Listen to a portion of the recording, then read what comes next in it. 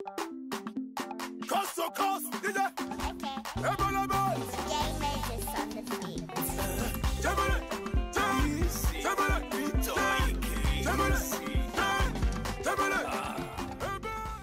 Hey guys, welcome back to my channel. Here we are with the first installment of the pharmacy series.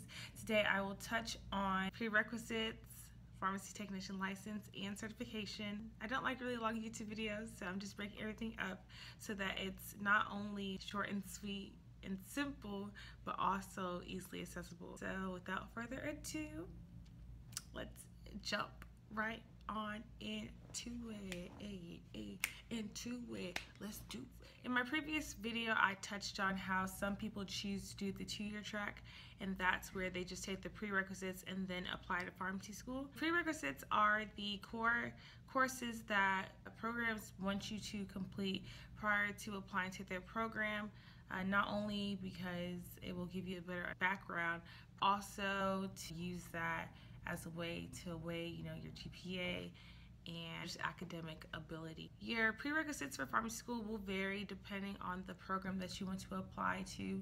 I only applied to one program because I knew exactly where I wanted to go. So it was pretty easy for me to uh, knock those courses out. Um, I will drop a link below for you to be able to view the all the schools in the United States of America and they'll have a link to their website and what they require for you to do but the prerequisites that I needed and are, um, I feel are really standard across other schools are general chemistry 1 and 2 organic chemistry 1 and 2 both with labs um, biochemistry general biology anatomy and physiology with lab uh, microbiology lab was required for me but may not be required for another program.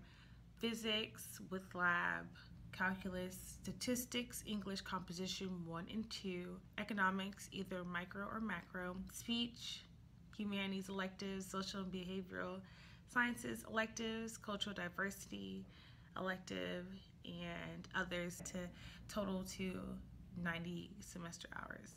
As a chemistry major with a concentration in biochemistry, all the prerequisites that I needed for the pharmacy school that I wanted to attend were embedded within the degree program. So I didn't really have to worry too much about adding a class here and there. However, spacing out which class and you want to take and when you want to take it is important. I started off with, you know, English courses, speech courses, humanities. That's what I did along with my chemistry and physics for my first two years with the labs. Then my last two years I spent doing biochemistry, anatomy, and physiology, and my biology coursework. And so it worked out. I wasn't, you know, too overwhelmed. You would just want to make sure that you're not adding more to your plate than what you can handle managing campus involvement as well as your academic course schedule. So you really just want to take everything into consideration. I don't believe in rushing to get things done. I don't believe in you know, C's get degrees. I believe that A's get you paid. So I was more so concerned with making sure yes i spaced it out and completed my you know degree within four years but also that i was excelling in my coursework as opposed to you know just getting by um, because you do want to stand out so as I mentioned earlier, I am licensed and certified. My recommendation is to get licensed first prior to certification. Some companies will pay your certification exam after you've worked there for at least six months. So I live in Georgia. So what you can do is uh, type in Georgia Board of Pharmacy. Um, or you know you can go to the link at the bottom that will take you directly there but uh, if not you type in Georgia Board of Pharmacy and then on the right hand side you'll see apply online and once you go there it'll give you the link to apply for your license it is a hundred dollars and um, after you do that then you will complete a supplemental application. And on the application you just get notarized and um, you need to get your fingerprints done as well. Also I I looked to see if like it was different for other states. So I, I tried Florida Board of Pharmacy and, and a website popped up. Now it wasn't the you know apply online didn't pop up on the right hand side like the Georgia site did, but you will see apply for a license and then the instructions are pretty clear from there. In total, I, I paid like $150 for it, but it was definitely worth it. I got my license first, and then as soon as I got my license, I uh, filled out an application at the store that I went to work at. It really wasn't the store that I went to work at, but I am very grateful that God led me there because I definitely appreciate my pharmacy manager and um, how much of help he has been to me throughout my pharmacy journey. Yeah, so um, I applied to the company that I went to work at, and then I started to make phone calls to the nearest locations to me to figure out whether or not they were hiring. But you do want to keep in mind that when you're making the phone call, that that initial call is an interview, essentially. So you want to make sure that you're speaking properly, being kind. I didn't just jump in and say, "Are y'all hiring?" I would say Hello, how are you? My name is Joy. I recently got licensed as a pharmacy technician. Um, is there a chance that y'all are hiring?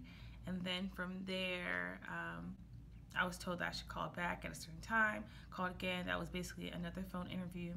And then after that, I was called in to interview at the store, and then I got hired on the spot. Glory to God. Yeah, get you know licensed yes, the education is good. Do your prerequisites and do well in them, but experience, uh, I don't want to say experience trumps education because experience is education. You are learning as you go. I got certified like January of 2017, so this year, but I took my exam December 2016. So I didn't study for the exam. Some people take classes, buy books. I didn't study. It was really just the grace of God that got me through because I barely passed, just to be honest. I didn't have to pay $129 for the exam. I it was free. So definitely, definitely get licensed, work at the company for at least six months, and then get certified from there. And certification is needed if you are looking to work in a hospital pharmacy. So the link to get certified is also below. And yeah, it's the direct link. So it, the steps are pretty clear from there. The only requirement difference, I guess, between getting certified and licensed is having a high school diploma or GED or equivalent.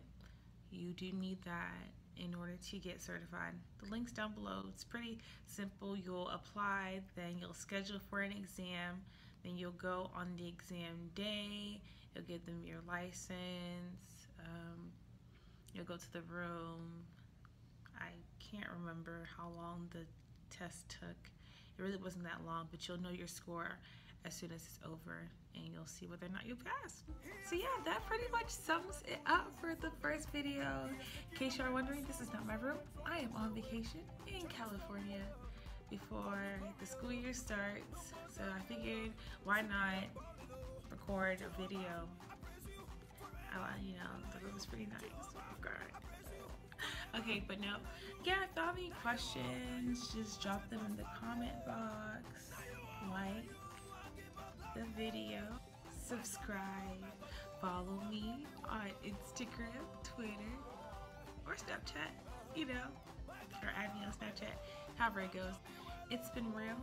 Share. Share the video. I know there's some pharmacy people out there